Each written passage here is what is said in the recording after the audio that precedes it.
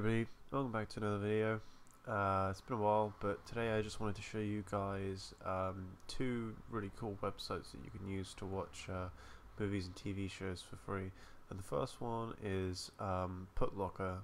It's uh, the domain name is www1.putlocker.fyi, and um, again, these websites don't host anything, but they link to websites that do, which is sort of a way around the copyright law again I'm not endorsing anything I'm just this is for educational purposes so um, we can we can really search for any TV show you want or movie um, say you want to watch Inception right? We've got it right here and um, usually the first source is uh, pretty good. And um, again I'll show you um, this for a um, TV show. Search for TV show here Let's look for Chuck.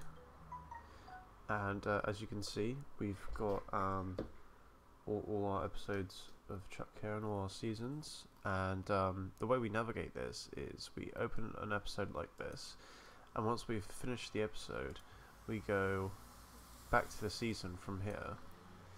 And then, because there's no next or uh, previous button on this page, not that I can see anyway. Alright, so now we're on the next website, which is www.123movies.la, which again is basically the same as Putlocker, it's just an alternative. Um, I'll demonstrate the same thing. So we want to watch Inception. Sorry, I saw that movie last night, that's why. Um, yep, click on it here. Again, you're probably going to need an ad blocker for this website. Um, you've got our source here, and um, if we play it, um, and the first server doesn't work, then click these to change the video source. There we go. and then um, that's how it works for a movie. Let's just see how it works for TV shows.